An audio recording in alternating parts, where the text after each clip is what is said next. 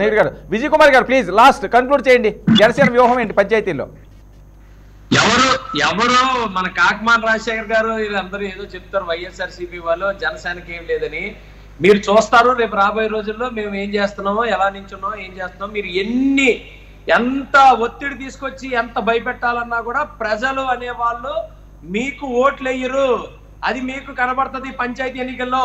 మీరు పూర్తిగా అన్ని పంచాయతీల్లోని కూడా మీరు మీ అధికార దుర్వినియోగం చేస్తున్నారు డెఫినెట్గా మీకు రాబోయే రోజుల్లో మీకు తెలుస్తుంది అట్లీస్ట్ మీరు రియలైజ్ అయితే అవ్వండి లేదంటే మానేయండి కానీ హండ్రెడ్ పర్సెంట్ రాబోయే ప్రభుత్వం Bharatiya Janata party Janasena పార్టీదే.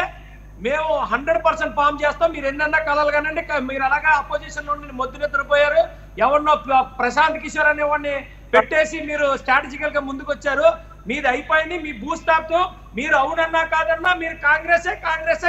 Congress right thank you